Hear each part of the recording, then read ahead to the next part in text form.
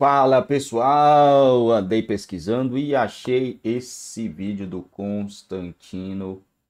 Tá bem interessante, vale a pena vocês assistirem até o final. A gente, né? A gente vai assistir até o final, vou assistir de novo com vocês.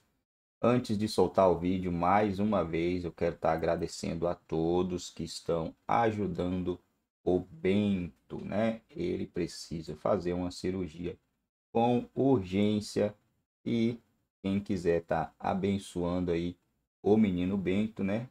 Qualquer quantia serve, tá, pessoal? Tá aí os dados, né? Amassa o dedão no like. Se ainda não for inscrito aqui no nosso canal, se inscreva e vamos lá juntos assistir mais um vídeo porque os caras estão em pânico, desesperados com o que a internet vem fazendo com a vida deles, hein? É uma reviravolta, meus amigos.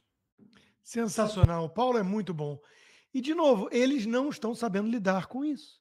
Por quê? Em primeiro lugar, o PT tem um software obsoleto, obsoleto, analógico. Ele projeta tudo que ele faz nos outros, tudo que ele é nos outros. Então, o PT tem hierarquia de comando, verba pública, tudo centralizado e nenhum senso de humor porque revolucionário não tem senso de humor. Então eles não conseguem entender o que é a internet, o que é a, a, a anarquia das redes sociais. Cada indivíduo produzindo o seu meme, um querendo ser mais criativo com o outro que o outro. E essa chuva, essa enxurrada, essa onda de memes apavorando a Globo, o maior veículo de comunicação do país, poderosíssima Globo, e o PT, o governo federal eles estão sem rumo. Eles foram nocauteados. Então é um negócio impressionante. E veja, é muito importante o sarcasmo contra tiranias. O livrinho O Riso do filósofo Henry Bergson explica muito bem isso. O humor chacoalha estruturas enrijecidas, leva uma certa verdade inconveniente de uma forma mais aceitável pelas beiradas por isso que revolucionário nunca aceitou muito bem humor. Por isso que regime opressor persegue humorista. O humorista é meio iconoclasta. Ele traz aquilo que a sociedade, de certa forma, sabe que é tangencia a verdade, mas não, não é, é tabu. Por isso que o humor não pode ser chapa branca. O humor não pode ser politicamente correto. Por isso que a esquerda progressista não tem senso de humor. Por isso que a ideologia woke é um bando de gente ressentida, rancorosa, chata pra burro, insuportável. Eles não conseguem ter senso de humor.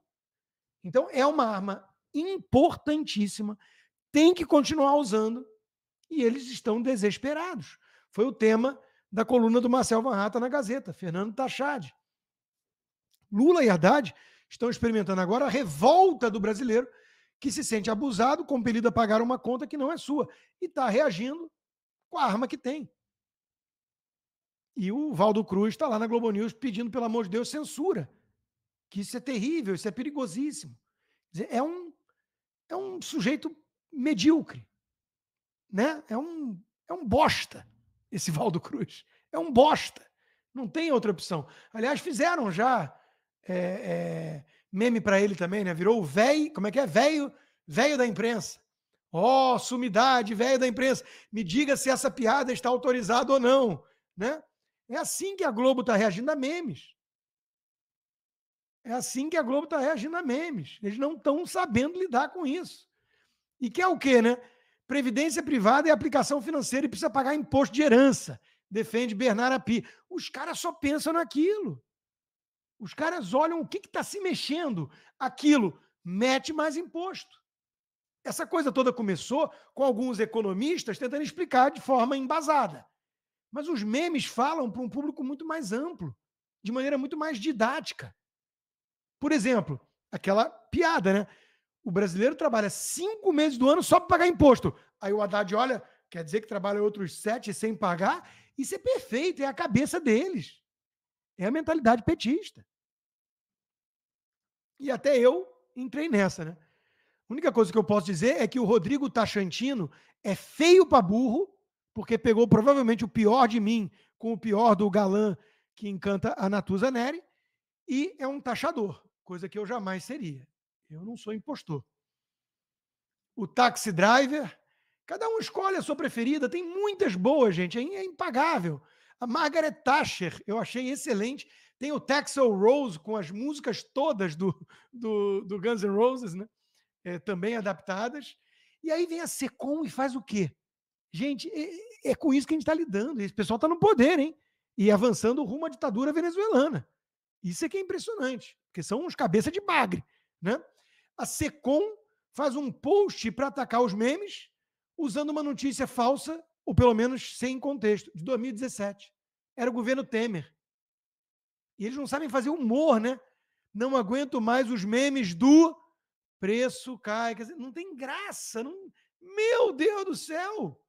Não consegue chamar o Greg, o imitador de focas. Nenhum deles consegue dar uma, uma melhorada nesse troço. Essa é boa demais, né? Porque tem que adaptar, além da cabeleira, a fala, né? Viva la tributação, carajo! Javier tá cheio. Javier tá cheio seria perigosíssimo, né? Enquanto isso, e o Brasil? Como é que tá de déficit em comparação à Argentina? Vamos falar disso já já. Mas antes, meus amigos, eu quero anunciar para vocês o déficit só faz aumentar, né? E é pior do que uma pandemia. Como eu digo, o PT é perda total. É pior do que a praga do vírus chinês a Economist, revista tucana de economia britânica, né, está dizendo para interromper a queda do Brasil, Lula precisa cortar o gasto público. Os investidores estão preocupados. É, Economist, troféu Rubinho para você. Eu estou cantando essa pedra desde o primeiro dia. Mas vocês estão fingindo, junto com Armínio Fraga, que o Lula ia vir como Mandela junto com os tucanos de mercado na economia. Vocês são cínicos. Vocês são uma revista de esquerda. E ninguém mais confia em vocês por isso. Enquanto isso, como é que está o Javier Tachei? Não, o Javier Tachei está no Brasil. O Javier Milei registra sétimo, sétimo superávit mensal consecutivo. Que inveja de quem tem um presidente, não é mesmo? Porque do lado brasileiro, o Lula consegue demonizar dividendos. País precisa parar de ter gente vivendo de dividendos e ter gente vivendo de trabalho. Ele coloca capital e trabalho como antagonistas, luta de classes, marxista. É a visão com cheiro de naftalina do atual governo. Ele não entende que os dividendos são pagos porque a empresa conseguiu dar lucro, gerar caixa porque está dando certo e está atendendo bem o mercado e gerando valor para a economia.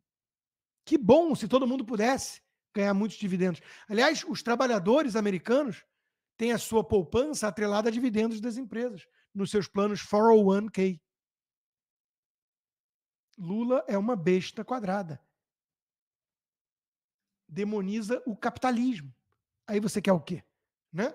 Em contrapartida, ele quer as estatais para ele negociação para recompra de refinaria marca guinada reestatizante no governo Lula. Alguém está surpreso? Armínio Fraga, João Moedo, vocês estão surpresos? Estadão, Tucano? Porque eu estou cantando essa pedra desde o primeiro dia. E não me sinto profeta por um grande analista. Basta não ser um Guga da vida. Oi, Guga. Era óbvio que as estatais iam voltar à cena do crime junto com o criminoso. Bastava ouvir o Geraldo Alckmin. Bolsa Família supera trabalho com carteira em três estados. O Lula finge que está enaltecendo o trabalho, mas olha só: Nordeste, Norte e Nordeste. No caso do Maranhão, por exemplo, há dois beneficiários do Bolsa Família para cada trabalhador com carteira. Eu pergunto a vocês: isso é um modelo sustentável, gente? Claro que não, né? E aí vem a revelação. Lula diz que Janja é uma das pessoas que ele mais ouve quando discute política e economia. Tá explicado, né? Tá explicado. O pessoal criou até um logotipo novo para o governo, né? A puta. Vai junto. Brasil. A puta vai junto. É óbvio que é uma referência a isso. Filho de Lula xinga Janja em mensagem de WhatsApp. Veja print. Tá aqui o print. Detalhe, gente. Tô indo tomar café. Mais tarde assino um termo de compromisso com aquela empresa que te mostrei. A gente está curioso e quer saber que empresa é essa, que esquema é esse. Né? Final da tarde vou ver meu pai. Que chique, queria um café preto. Eu acho que isso é racismo, não sei, na linguagem petista. A puta vai estar junto. Eu não quero dizer que Lulinha tem razão, né? Relógio quebrado a certa hora duas vezes por dia. Mas eles têm que discutir isso em família. Casos de família. Eles têm que ir lá para esse programa, né? E está circulando também um post da Janja, né? Falso, marcando a Choquei e dizendo assim: não foi o filho do Lula, foi meu enteado que disse isso, que eu sou puta. Porque ela disse: não vai ser o consumidor que vai pagar imposto, vai ser a empresa. Né? A puta vai junto ou bater na mulher depois do jogo do Corinthians. Aí o Lulinha derrapando e fazendo a mudança de curso. O papai dele disse que é muito perigoso essa coisa de time de futebol, jogo e tudo, que o homem vai lá depois e fica irritado quando o time perde e bate na mulher. Ele entende isso porque o Corinthians, né? Ele meio que dando um aval. Sabe como é que a imprensa que o Lula anda criticando tratou disso? Piada de mau gosto. Imagina se fosse Bolsonaro. Aliás, o Lulinha, que bateu na mulher, disse que tinha costas quentes, era filho de quem era e que não ia dar em nada. O caso dele está arquivado. Ele, obviamente, é profeta, ao contrário de mim. Mas também não é preciso ser profeta para saber que no país da impunidade, petista tem salvo-conduto para tudo, até bater em mulher. E se for do Corinthians, então, aí o presidente mais do que entende. Né? Por falar em violência, estados com menor taxa de violência são governados pela direita. De novo, não é preciso ser profeta para saber que esse vai ser o resultado. Em contrapartida, a esquerda fletando com o comunismo, como é que estamos na Venezuela?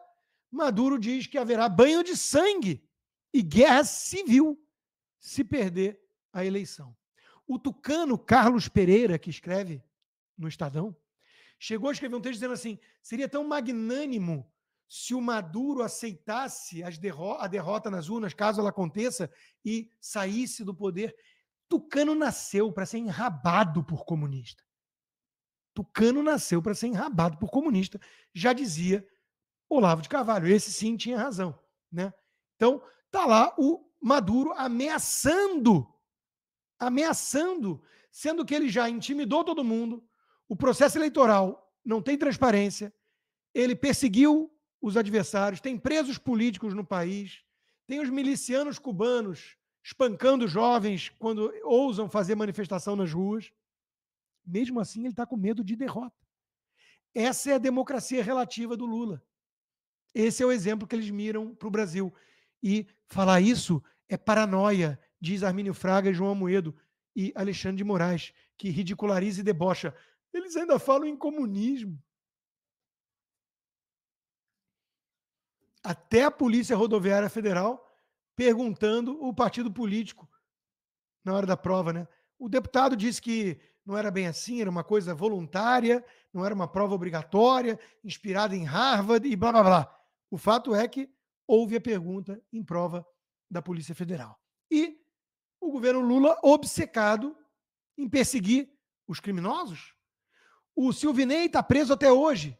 É vingança, porque quando ele estava à frente da Polícia Rodoviária Federal, houve recorde de apreensão de drogas. É disso que se trata. A gente sabe. Eles estão preocupados em prender bandido? Traficante? Não.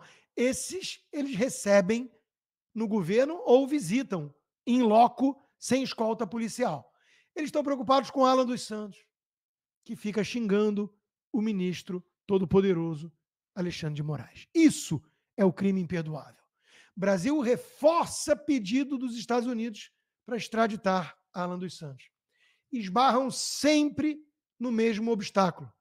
O governo americano, mesmo sob Joe Biden, pede o crime. Qual foi o crime? Xingar de cabeça de head dick o ministro não é crime. Pode, aqui pode. Primeira emenda. Então, meus amigos, tá difícil, né? Tá difícil ter o troféu de torturar e jogar e trancar numa cela e jogar a chave fora do Alan dos Santos.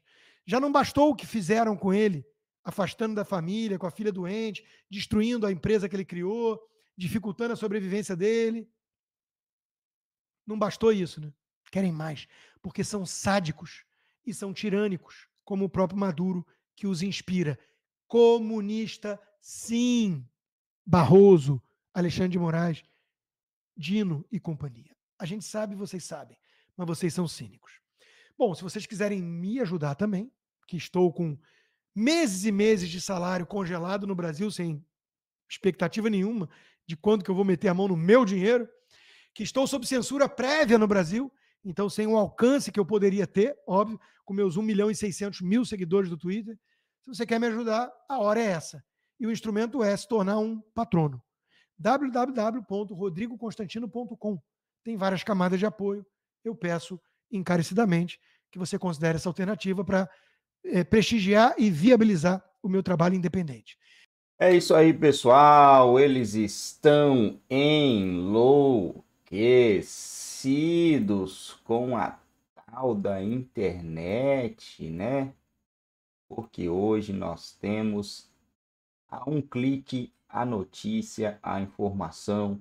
Você pode comparar informações, né? Porque você a gente não precisa pegar só de uma fonte, beber só de uma fonte. Pera aí essa fonte está falando isso, essa fonte está batendo o que aquela fonte está falando, essa terceira fonte também está batendo o que, que ela está falando. É, provavelmente isso é verdade. É, não, e, e eu estou falando assim de pessoas que são comprometidas com a verdade, né? Você não vai lá buscar a fonte do Barbudinho que falou hoje. Ele falou que o ex-presidente Bolsonaro, aonde ele ia, ninguém queria ficar perto dele, ao contrário, né? Tanto é que ele ganhou joias. Aí os caras foram lá e. Né? Que o Barbudinho pegou 11 containers, né? E tem vídeo dele falando, é só para pesquisar, assim, ó, ó, Pega isso aqui, ó. Eu tô falando, ó. Vai pegar isso aqui, ligar. Oi, Barbu, barbudinho falou que ganhou 11 que levou embora 11 containers e que tinha até trono. Ele falou 11 containers que tinha até trono. E por que que o poderoso chefão não disse nada? Deixou o barbudinho levar levar tudo. Por que motivo, né? E o barbudinho pode e o outro não pode. Então aí você vai lá numa fonte, vai no outra, vai no outro e confirma se realmente é verdade. Ah, não, mas às vezes a fonte aqui no Brasil pode ser meio suspeito, porque o pessoal é tudo pesquisa em fonte estrangeira, né? Você vai achar a verdade. Vai achar a verdade, gente. E tem um ditado que ele tem como, né? Aonde tem fumaça, pode muitas vezes ter fogo. Nem sempre tem fogo, né? Mas muita da a maioria das vezes tem fogo. Ah, é, esses memes do Tachad não é verdade, é tudo mentira. Querem criar uma narrativa. Os mestres, criadores de narrativa estão falando que a direita quer criar uma narrativa. Pô, o cara taxou blusinha, falou que quer taxar picanha, tá taxando tudo, isso é mentira. Agora eles falar que o emprego tá aumentando, o desemprego tá caindo, né? Tá tendo muitos, muito emprego, que o Brasil tem. Aí é a hora, pera aí. Eu vou no mercado e eu sinto algo completamente diferente. Vou na lojinha, tenho uma sensação que não é isso. Vou no posto de gasolina, Pior ainda, deixa eu pesquisar aqui como era o preço das coisas ano passado e como era o preço das coisas esse ano. Vamos ver quanto que aumentou. Simples, é só fazer esse tipo de pesquisa. Só que a Petelândia faz?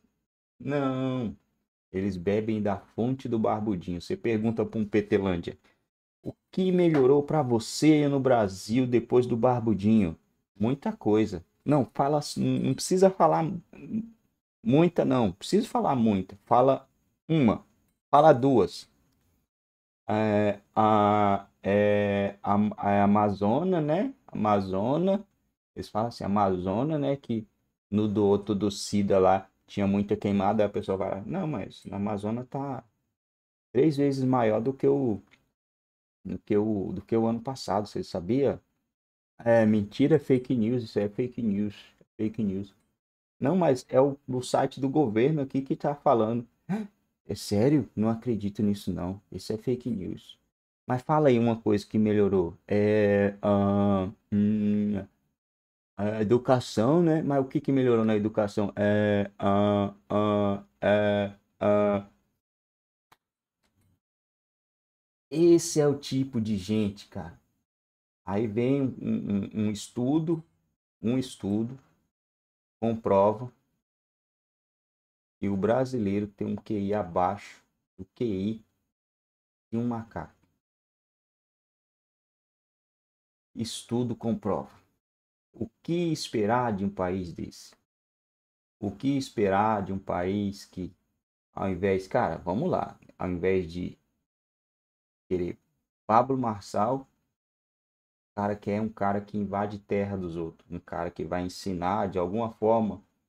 Gente, a pessoa que brilha de alguma forma, de alguma maneira, onde ela passar, ela vai acender alguma luz ao redor, né? Esse cara, de alguma forma, ele vai contaminar é, São Paulo com suas ideias, com seu... O cara não cresceu à toa.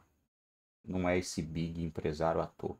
Então, onde os caras preferem um cara que invade terra, que fala umas as bobajadas, ao invés de um cara que tem um mindset ultra mega evoluído, que não dá para falar que não tem, né? Ele fala aquelas paradas sinistras nas palestras dele lá, para mim é proposital. Ele não é besta desse jeito que parece que ele é. ele entra na onda do brasileiro, mas o pessoal tá preferindo um invasor, né? Mas fazer o quê?